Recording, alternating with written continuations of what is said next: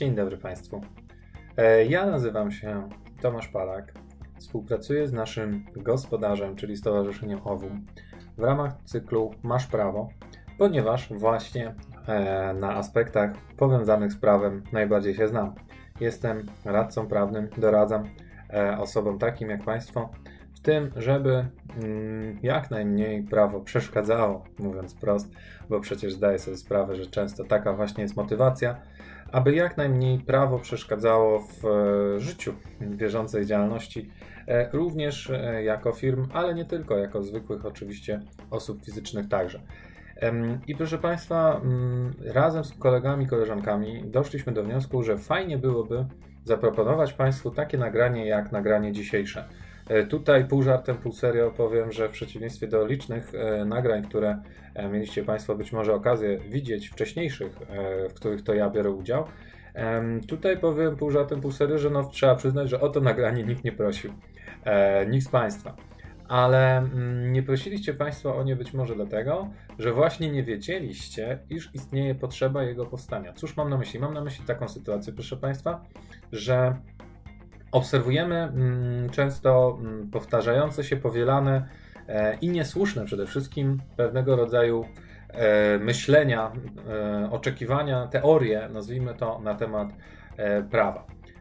Najczęściej są to właśnie mity, i myślę, że pewnie tak zatytułujemy ten odcinek: mity prawne. Jakieś popularne, mm, uznane przez wszystkich za prawdziwe twierdzenia dotyczące prawa, czy szerzej jakieś, jakiegoś otoczenia e, paragrafowego. I to są aspekty, w których każdy gdzieś coś słyszał, coś wiedział, coś mógłby się wypowiedzieć, w jakiś sposób pomóc, mm, podczas gdy w rzeczywistości mm, problem sprowadza się w dużej mierze do tego, e, że gdyby już zacząć dążyć, drążyć, jątrzyć, zwał jak zwał mm, i dopytywać o szczegóły, okazałoby się, że E, nie jest w stanie osoba mm, powielająca po raz kolejny to twierdzenie znaleźć dla niego uzasadnienia w prawie, ponieważ takiego uzasadnienia, krótko mówiąc, nie ma. E, no i chodzi tutaj, proszę Państwa, o to, mm, intencją tego dzisiejszego mojego spotkania z Wami jest to, żebyście mm, nie powielali tych błędów, nie wpadli w tę pułapkę. E, po pierwsze, nie podjęli jakichś swoich decyzji życiowych czy biznesowych w oparciu o te o te teorie, które nie są zgodne z prawdą, a po, prawdą, przepraszam, a po drugie, żebyście też mm, nie, nie wprowadzali w błąd innych osób naturalnie, e, robiąc to nieświadomie e, i w dobrej intencji. Na zasadzie ja słyszałem, mi się obiło o uszy, kolega mówił i tak dalej. No więc mam tutaj naszykowaną w notatkach, proszę Państwa, taką jakby wyliczankę e, tego, co wraz z mm, kolegami, koleżankami z OWU Y, spotkało nas, że kilkukrotnie, czyli nie, nie tylko raz, dlatego to uznaliśmy za powielające się jakieś zdarzenia, twierdzenia mity, e, kilkukrotnie nas spotkało, mm, że ktoś wiedział lepiej, że ktoś coś słyszał, ktoś komuś coś podpowiedział, coś się o uszy obiło, e, podczas gdy w rzeczywistości nie do końca miało to po prostu sens, tak? E, a najczęściej nie miało go, mówiąc prosto, wcale. Pomyślmy, pomyślmy o tym zatem, e, cóż tej wyliczance dla Państwa naszykowałem. Już Państwu e, z, przyjemnością, z przyjemnością opowiem, po to, żebyście też byli bardziej świadomi na przyszłość. E, jeden z częściej słyszanych głosów e, tego typu E, który mm, potem klienci już nawet sami przyznają, odszczekują e, niejako i mówią, że Boże, jaki ja tutaj byłem nieprzytomny, że w ogóle dałem się temu, mm, temu e, twierdzeniu podpuścić niejako, czy tej osobie. Mm, czyli postawa na zasadzie, no, my sobie ufamy, my się lubimy, szanujemy, znamy się od przedszkola i tak dalej, albo ta osoba wzbudza moje zaufanie nic nie musimy mm, podpisywać, tak? E, nie musimy mm, jakby mm, w sposób prawny e, obudowywać tej naszej relacji, robić jakieś umowy na piśmie, tak? Nie trzeba, my sobie ufamy i tak dalej. Albo jest drugi wariant oczywiście tej historii, to znaczy, gdzieś tam wiemy, że na przykład potrzebujemy mm, jako mm, twórcy jakiegoś pomysłu uregulować rozwiązania między sobą, ale to zrobimy potem. Na razie nie ma na to pieniędzy, na razie nie ma na to czasu, na razie sprawdźmy, czy ten pomysł w ogóle ma sens i tak dalej. Tylko, że potem, gdy okaże się, że ów pomysł ma sens, e, może się okazać, że też jest już troszkę za późno na to, żeby potencjalnie mm, dopilnować, uregulować w tej, w tej wyliczance, kto za co odpowiada i, i, jak to wygląda. Nigdy nie ma kasy, nigdy nie ma okazji, pieniędzy e, na to, żeby nastąpiło to słynne potem, e, gdy mamy się potem czymś e, zająć, tak? A proszę pamiętać, to jest coś, co do znudzenia czasem możecie słyszeć od prawników, ale może akurat nie mieliście Państwo styczności dotąd z nimi, więc e, nie będzie to dla Was stwierdzenie usłyszane do znudzenia. E, pomimo tego właśnie jego, jego już wyświechtanego brzmienia powiem Państwu, ponieważ tak, to prawda, zgadzam się z nim absolutnie, ja również. Umowy pisze się na y, zły czas, na czas, gdy się nie porozumiewamy, gdy się E, coraz więcej buduje napięć, gdy się mówiąc prosto nawet nie lubimy, gdy jest konflikt. Umowy pisze się na okoliczność, że się rozstajemy, że się nie lubimy, że mm, chcielibyśmy coś komuś, że tak powiem, wyciągnąć. E, no i trzeba się liczyć z tym, że to, że w tej chwili sobie ufamy, to, że w tej chwili się lubimy i tak dalej, może ulec e, zmianie. I na przykład ten pomysł biznesowy może wyglądać inaczej. I na przykład ta relacja e, rodzinna, bo robimy to ze szwagrem, też może wyglądać inaczej, bo wystarczy, że po drodze e, nastąpi rozwód i co? I to już nie jest w sumie nasz szwagier, tak? I może już jest mniej zaufany. Pół żartem, pół serio, no ale przecież no, nie jest to może to decyzja tylko szwagra. Więc o takich rzeczach trzeba by tutaj mm, myśleć i yy, patrzeć na to, że E, jakie są w tym zakresie oczekiwania? Czyli na przykład, jeżeli to jest umowa jakaś powiązana z, wspólną działalnością, tak? Ktoś daje pomysł, ktoś daje pieniądze, ktoś daje wiedzę i tak dalej, tak? I e, najczęściej takie podmioty rozstają się ze względu na to, że mm, jeden uważa, że inny nie robi roboty swojej, tak? E, ale no potem nie może pokazać palcem i powiedzieć: Ja uważam, że nie robiłeś swojej roboty, bo tutaj w paragrafie siódmym jest napisane, że miałeś robić to i to, bo nie ma tego paragrafu siódmego, nie ma też tej umowy i nie ma e, możliwości zastanowienia się, jak nad tym, mm, powiedziałbym, e, zapanować, tak? Więc no tutaj warto, żebyście Państwo też zdawali sobie sprawę z potencjalnie występujących w tym kontekście nieprzyjemności i, e, i ryzyk, tak? E, ile mamy, nie wiem, chociażby, ile mamy urlopu, tak? Zawiązujemy umowę ze swoim tak zwanym pracodawcą, chociaż jest to samozatrudnienie, więc jest to umowa między dwoma firmami, ale ile mamy urlopu? On nam mówi, że tydzień, ale jeśli to nie wynika z umowy, no byłbym w tym kontekście szalenie, szalenie ostrożny, tak? Spisać po prostu to na tej przysłowiowej kartce, mieć zgodę obu stron. Jeśli sobie ufamy, no to przecież obie strony również e, powinny w, ramach tego zaufania taką relację mm, chcieć e, podpisać. A jeśli mamy do czynienia z sytuacją, w której jedna ze stron mówi, że przecież sobie ufamy i nie chce podpisać umowy, to ja powiem szczerze, na Państwa miejscu e, byłbym szalenie podejrzliwy, czy na pewno jest to e, godne zaufania mm, rozwiązanie, współpraca, czy strona umowy, jeżeli niby sobie ufamy, ale nie wyrazimy tego zaufania poprzez podpisanie umowy, tak?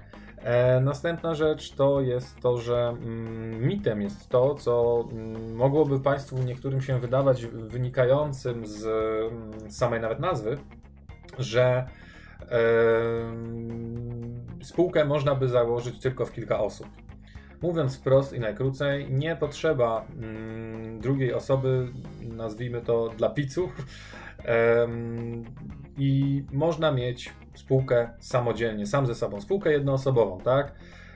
Um, najczęściej w praktyce mamy do czynienia z tym, że to jest spółka z jednym wspólnikiem i um, rozwiązanie to coraz bardziej odżywa, być może nie jest to wszystkim Państwu wiadome, ale rozwiązanie to coraz bardziej odżywa w momencie, gdy mm, dokonują jakichś prób optymalizacji podatkowych e, nasi e, rodacy, zwłaszcza na przykład programiści, którzy jak wiadomo e, mają stosunkowo wysokie zarobki, a jednocześnie mają też fundusz na to, żeby próbować optymalizować, więc jedną z metod optymalizacji jest próba zrobienia ich mm, wspólnikami e, spółek, e, czy to jednoosobowych, czy już przy innej okazji mówiąc, nie tylko jednoosobowych, ale istnieje taka możliwość jak to, że jest się samodzielnie wspólnikiem spółki tylko ze sobą i nie potrzeba e, potrzeba mieć nikogo więcej, tak? Więc mm, ta ograniczona odpowiedzialność tym sposobem na przykład jest zdobywana. Jeżeli kogoś z Państwa by to miało interesować, może sobie samodzielnie e, doprowadzić do sytuacji, w której e,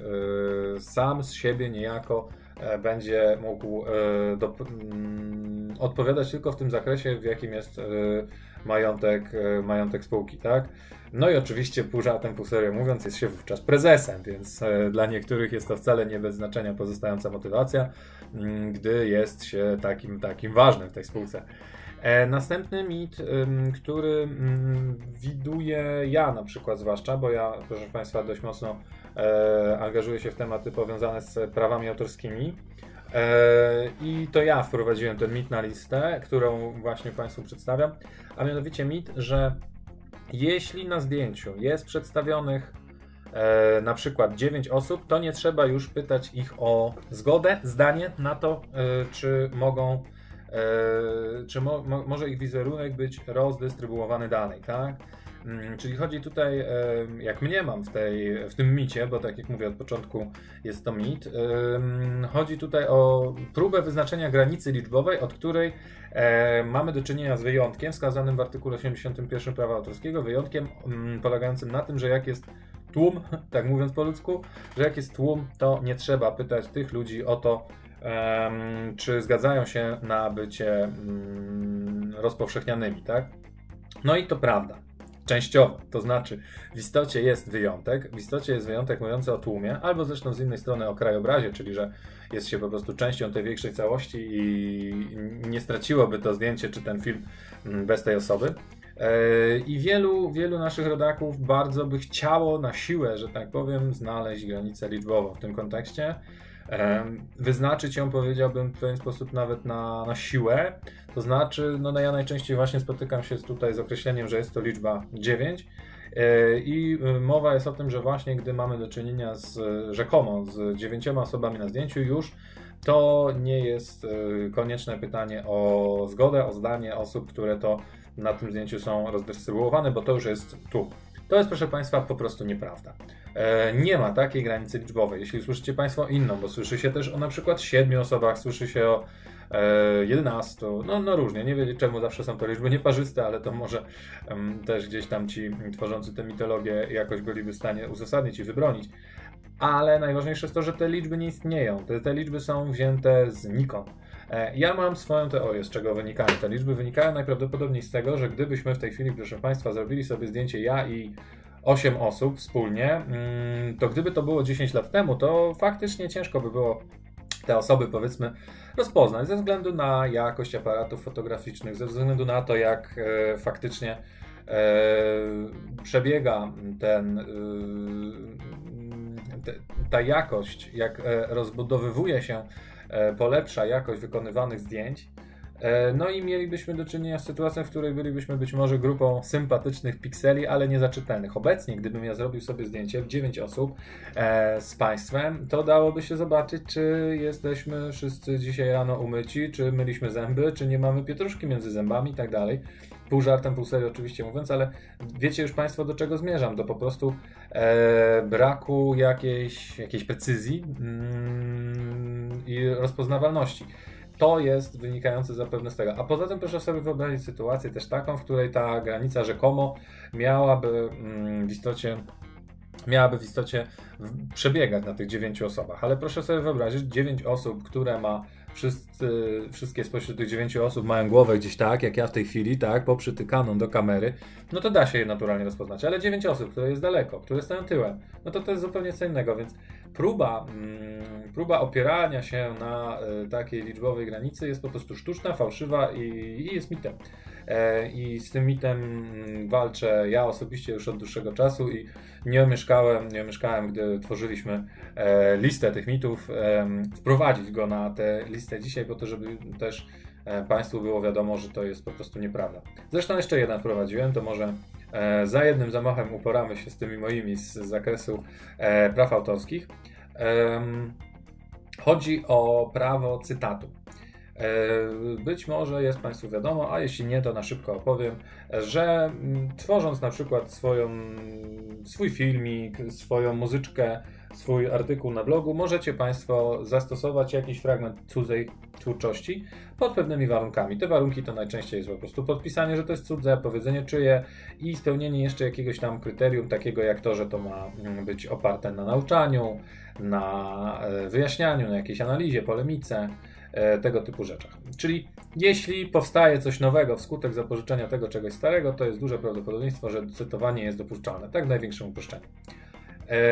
Natomiast, y, zwłaszcza w kontekście muzyki, znów widuję często y, wśród wykonawców samplujących, czy nie tylko, w ogóle wśród wykonawców, e, twierdzenie, że można kilka sekund, albo kilka taktów, albo kilka nutek.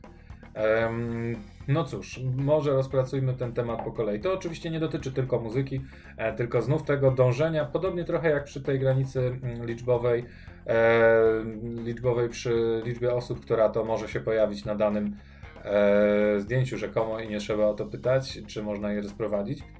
Tutaj też pewnie po prostu niektórzy chcieliby, żeby, żeby wszystko było takie zero-jedynkowe i tyle, więc no zróbmy to po kolei. E, niech będzie, że mm, można po określonej liczbie, nie wiem, 6 nutek, że 6 nutek można zabrać, tak?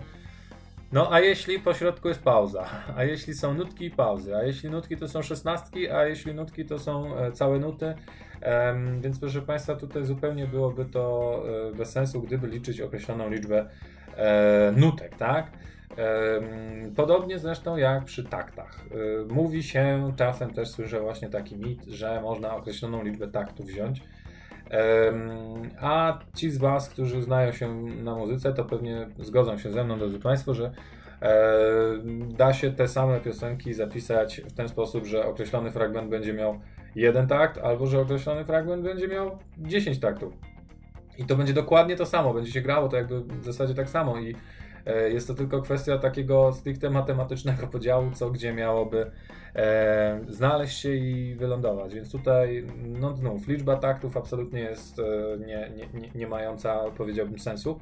Zostaje nam ewentualnie liczba sekund, bo i to słyszałem, zwłaszcza to właśnie słyszałem od osób, które zajmują się e, samplingiem, ale przypominam, że ten przykład z muzyką i samplingiem jest tylko przykładem, bo równie dobrze chodzi o to, że niektórzy mówią, że można tyle linijek wiersza zabrać, a niektórzy mówią, e, że można e, tyle sekund filmu i tak dalej i że wtedy to będzie w porządku. Więc wracając do tych nieszczęsnych sekund, może, może wprowadzę tutaj Państwu garść muzyki. To znaczy, proszę sobie wyobrazić, że chcielibyście zapożyczyć fragment muzyki i on brzmi tak. No i Państwo już wiecie, jaka to jest piosenka. On trwał sekundę. To jest oczywiście Will Rock tak? E, piosenka zespołu Queen. I em, gdyby miało wyglądać tak, że rzekomo można zapożyczyć 5 sekund, albo że można zapożyczyć 4, albo nawet jedno, no to już da się na podstawie tego fragmentu, który Państwu e, wystukałem na swoim wysłużonym biurku, rozpoznać o jakim utworze konkretnie tutaj mówimy. No a przez to mamy do czynienia z tym, że nie jest to jakby wystarczająco jakby mały fragment albo wystarczająco mocno przetworzony i tak dalej, więc nie ma, nie ma co tutaj się mm, w mojej ocenie specjalnie, specjalnie e, wahać e, i e, 5 sekund piosenki jednej typu Jurakiu to nie jest to samo co 5 sekund piosenki takie jak nie wiem, jak Pink Floyd, gdzie 5 sekund to jest e, pomału rozpoczynające się intro i nie do, do końca w ogóle wiadomo, e, gdzie oni tam zmierzają tym razem ze swoim e, muzycznym odjazdem, tak? Cały czas jeszcze zaraz zaznaczam, to nie chodzi tylko o muzykę, tylko o to, że znów nie ma żadnej liczbowej granicy cytowania. Na muzyce było mi to najwygodniej Państwu wytłumaczyć, bo e, jest mit o nutkach, mit o taktach, mit o sekundach jest też mit o procentach określonych i tak dalej. E, to wszystko są właśnie, jak mówię, mity, no bo e, chociażby to tupanie przy Will Racku jest dla Państwa chyba dobrym, dobrym przykładem i, i odpowiedzią. Następny mit to jest to, że e, nie warto się spierać o jedno słówko, bo to jest po prostu nieprawda w tym punkcie widzenia. Tutaj trafnie jeden z moich kolegów podpowiedział, że po ludzku i po prawniczemu to nie jest to samo, niejednokrotnie. Mielibyście Państwo mm, do czynienia na przykład z tym, że napiszecie sobie gdzieś, że jesteście właścicielem samochodu albo jego posiadaczem. I proszę mi zaufać, że po prawniczemu różnica jest drastyczna, tak? E, jeżeli jest się właścicielem auta, to ono naprawdę jest nasze. Jeżeli jest się posiadaczem, to się je na przykład wynajęło, pożyczyło i tak dalej. I potocznie to, czy ja posiadam auto, czy jestem jego właścicielem, to brzmi jak to samo, ale po prawniczemu różnica jest drastyczna. Bardziej może przydatny dla Państwa przykład będzie odnośnie e, tego, co po ludzku mówi się um, obsuwy, ale Yy, różnicą naprawdę dużą jest to, czy ponosicie konsekwencje państwo za obsługę, która w umowie zostanie określona yy, zwłoką, yy, a taką, która zostanie określona opóźnieniem. Ponieważ jeśli macie Państwo do czynienia z tym, że w umowie jest powiedziane, że E, dana, e, dana na przykład kara e, będzie za to, że nastąpiło opóźnienie, no to wtedy nikt nie będzie pytał, czy to jest wasza wina. Natomiast jeśli będziecie potencjalnie odpukać, mieli dostawać karę za zwłokę, no to będziecie mieli szansę jeszcze się bronić. Bronić poprzez to, że będziecie mówić, że ale to nie jest moja wina. Innymi słowy, e, zwłoka, a opóźnienie to myślę jest dobry przykład na jedno, jedno słowo, które w potocznym języku znaczyłoby to samo, a poprawniczemu jest drastyczna różnica. Mm, w jednym przypadku, czyli zwłoki, można mówić, że to nie moja wina. W przypadku opóźnienia nikogo tak naprawdę nie obchodzi, czyja to jest wina, bo w ogóle nie jest to yy, istotne z punktu widzenia prawa. Więc niech Państwo zdają sobie sprawę, nie chodzi mi tutaj tylko o e, zwłokę i opóźnienie, nie chodzi mi tylko tutaj o posiadanie czy bycie właścicielem auta, e, to są tylko takie przykłady na to, że jedno słowo naprawdę w kontekście prawniczenia może mm, znaczyć bardzo dużą. E, je, na przykład, y, jeżeli wpiszecie sobie, że podpisujecie umowę w, danym, w danej miejscowości, mimo że tak w rzeczywistości nie jest, może się okazać, że będzie się trzeba w tej miejscowości sądzić i się zdziwić i tak dalej. Jedno słowo po prawniczemu to duża różnica i warto spierać się o jedno słowo, którego nie rozumiemy, którego nikt niby nie czyta, którego nikt nie rozumie i tak dalej, nie, nie, nie, nie przejmować się, tak? Zresztą nie, nierozumienie czegoś to kolejny aspekt, na który chciałbym Państwa uwagę zwrócić, a mianowicie właśnie taki mit pod tytułem a nie rozumiem tej umowy, no to dobrze, tak ma być, tak, widocznie tak musi być tak po prawniczemu, tak, że jeśli tutaj mamy temat pod tytułem a dzisiaj, dzisiaj yy, podpiszesz umowę, tutaj masz ten, ten, prawnicy mi dali taki, taki żargon. I ktoś z Państwa mówi, ale co, co, co tu jest napisane? Ja absolutnie nie rozumiem tych tutaj znajdujących się fragmentów zapisów. Do czego się to sprowadza, tak? E, no to wówczas e, proszę mi zaufać, że mm, nie jest najlepszą metodą zaufać komuś, kto powie e, mm, to nieważne, to dostałem od tych prawników wstrętnych i oni E, już tak tutaj nas zobowiązują. Ja tego też nie kumam, podpisuj i nie dyskutuj, e, bo możecie się Państwo mm, zdziwić, jak bardzo ostatecznie, mm, ostatecznie e, będzie to dla Was robiło różnicę, w którym kierunku to ma dotychczasowo potencjalnie z założenia powiedzmy zmierzać. Za oknem, oknem zrobiło mi się nieco szaro, proszę Państwa, więc e, zdecydowałem się zapauzować na sekundę naszą rozmowę, dosłownie po to, żeby oświetlić nieco mm, swoją, swoją buzię i żebyście Państwo w ogóle widzieli, kto do Was mówi, bo zauważyłem w międzyczasie właśnie, że coraz było z tym ciężej i że jak tak dalej pójdzie, to będzie do Was mówił głos z ciemności. Więc proszę Państwa, wracając do, do tych mitów, wymieniliśmy sobie ich już kilka, ale mam jeszcze w zanadrzu, w zanadrzu e, kolejne. E, po pierwsze temat e, tego, czy dotyczy nas RODO, a może dlaczego tak, dlaczego nie, w którą stronę miałoby to po prostu przebiegać. Najczęściej słyszę ten mit w wariancie RODO mnie nie dotyczy, bo ja nie zbieram żadnych danych, tak? Nikogo nie zbieram, nie przechowuję, nic nie przekazuję bo ludzie chcą myśleć, że problem, bo traktują RODO jak problem, że problem RODO ich e, nie dotyczy, tak? Mm, prze, przechowujecie Państwo, jeśli oczywiście jakkolwiek w ogóle nie wiem, prowadzicie stronę internetową, to przechowujecie już jakieś dane, na przykład adresy mailowe, jeżeli rozsyłacie newsletter i tak dalej, tak? Jeśli ktoś ma mm, do czynienia z tym, że nawet z klientami po prostu albo z e, odbiorcami, e, z uczestnikami wydarzenia, szkolenia, e, mm, wymienia się kontaktami, mailami, telefonami, no to przechowuje oczywiście dane, tak? Mm, no i temat jest taki, że RODO e, jak najbardziej w tym momencie będzie wkraczać. Mamy do czynienia z obowiązkami z niego wynikającymi. W największym uproszczeniu przede wszystkim z obowiązkiem polegającym na tym, żeby tę osobę, która jest e, przetwarzana, mm, poinformować o tym, że to ma miejsce i na jakich zasadach, a więc co się na jej temat zbiera, jak dużo, jak często, po co. E, z kim się dzieli, jak długo się to trzyma i tak dalej, i tak dalej, tak? Naturalnie, jeśli e, będziecie, będziecie Państwo mieć do czynienia z tym, że trafiają do Was dane bardziej e, intymne, no bo dane danym nierówne, tak? Ja mogę Państwu podać swój telefon i tyle, a jeśli ja na przykład z jakiegoś powodu e, składam do Was wniosek kredytowy, no to znacie zarobki moje, zarobki żony e, i tak dalej. Albo nie wiem, mm, wybieram się na wydarzenie i mówię, że mm, moja dieta ma być następująca, ponieważ jestem na coś chory. I to też oczywiście jest dana mój stan e, zdrowia, dana osobowa, tak? Z kim się dzielimy? Tutaj zachęcam, żeby pamiętać o tym, że również wszelkie Dropboxy, dysku Google, mm, Microsofty, Facebooki też są podmiotami, z którymi danymi się potencjalnie e, dzielimy, które do nas trafiają. I nie ma w tym nic złego, tylko po prostu trzeba przestać udawać, że to nie jest nasza sprawa, że RODO mnie nie e, dotyczy. To jest mit po prostu szkodliwy nie tylko dla podmiotu, który tak twierdzi, ale też dla tych biedaków, którzy właśnie są potencjalnie przetwarzani, tak?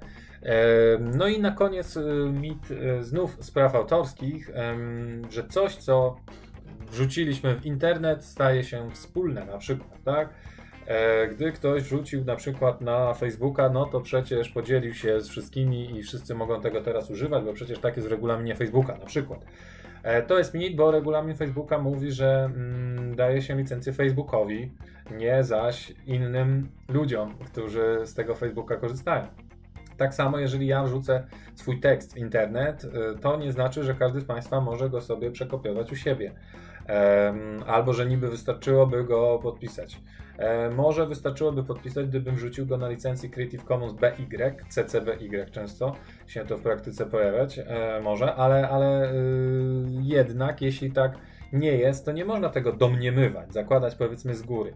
Więc e, no, zwracam tutaj uwagę Państwa na to, żeby nie zakładać, że coś wrzucone mm, w internet z automatu jest wspólne, e, staje się naszym wspólnym dobrem. Tak jest może ewentualnie z rzeczami w tak zwanej domenie publicznej, czyli sytuacji, w której ktoś e, nie żyje od 70 lat i to się wtedy stało dobrem wspólnym, co on wówczas wytworzył, albo jeśli on dobrowolnie powiedział, że już teraz przekazuje do domeny publicznej, to jest wtedy licencja z kolei CC0, ale no proszę tutaj nie, nie, nie, liczyć na to, wrzucając jakieś treści na e, internet, czy w ogóle, nie wiem, na ulotkę, czy po prostu w życiu, tak, twierdząc, że gdzieś, gdzieś dana możliwość występuje, bo możecie Państwo się niemiło zaskoczyć, że inne zdanie na ten temat będzie ktoś miał, że to nie jest wspólne, tylko jego i co gorsza, z Waszego punktu widzenia oczywiście, co gorsza, e, będzie miał rację. Podsumujmy te e, mity i ja je wyliczę niejako, niejako na palcach, tak? Relacja pod tytułem My sobie ufamy, nie trzeba nic podpisywać, poradzimy sobie, odłożymy to na później. Wszelkie tego typu twierdzenia, no szalenie, szalenie niebezpieczne, tak? Spółka, którą można założyć tylko w dwie osoby, to nieprawda, bo można założyć e, również e, spółkę samodzielnie i nie będzie to w żadnym stopniu, powiedzmy, kłopotliwe, tak? Mm, kłócenie się o jedno słowo, nierozumienie jednego słowa, jak najbardziej e, warto rozumieć, warto się kłócić, warto spierać się o jedno słowo, jedno słowo po porawniczemu. To zdecydowanie duża, duża różnica i e, nie można tego tak po prostu zostawiać. Mm, nie rozumiem umowy i dobrze, czyli wszystkie twierdzenia pod tytułem tak ma być, tak ma być po prawniczemu, przecież dobrze, dobrze tutaj yy, nam to prawnicy ułożyli, e, gdzie się wygłupiasz, gdzie się pyskujesz, dlaczego, dlaczego nie chcesz tego podpisać. Absolutnie to jest mit, że należy temu się poddać i że musi być sposób niejasny, e, bo dobra umowa właśnie na tym polega, że mm, strona ją rozumie. E, E, pula osób, które są e, na zdjęciu zamknięta, czyli że e, jeśli jest ich 9, to już nie trzeba pytać o zdanie najczęściej, czy tam 10 czy 20, to już nieważne, ale że nie ma liczbowej puli osób, które na zdjęciu wystarczy, żeby były, żeby już się nie trzeba było ich pytać. Podobnie jak nie ma określonej liczby sekund, taktów, nutek czy procent utworu, żeby można go było e, cytować i wszystko było ok. Podobnie jak nie można twierdzić, że to, co wrzucono gdzieś w przestrzeń na przykład internetu jest z automatu wspólne i po ósme, nie, e, niech Państwo nie myślą, że e, RODO mnie nie dotyczy, ja nic nie zbieram, to nie jest moja sprawa, ja sobie samodzielnie tutaj nie muszę nic, nic działać. Liczę i moi koledzy, koleżanki również liczymy wszyscy, że ta wyliczanka ośmiu rzeczy, którą Państwu e, przedstawiliśmy, wynikła z takiej naszej e, burzy mózgów, e, będzie dla Państwa mm, pożyteczna. Każdy z nas ze swojego doświadczenia, mm, ze swojej praktyki podrzucił coś, o czym wie i widzi, że dzieje się mm, permanentnie i że po prostu jest szkodliwe i dla tych, którzy w te mity wierzą, i dla tych, którzy je powielają. Zachęcamy, żebyście Państwo ich nie powielali i liczymy, że dzięki temu, że wystąpienie moje dzisiejsze jakby zablokowało to powielanie, nie wpadną Państwo również w ich przyszłości sidła. Wszystkiego dobrego.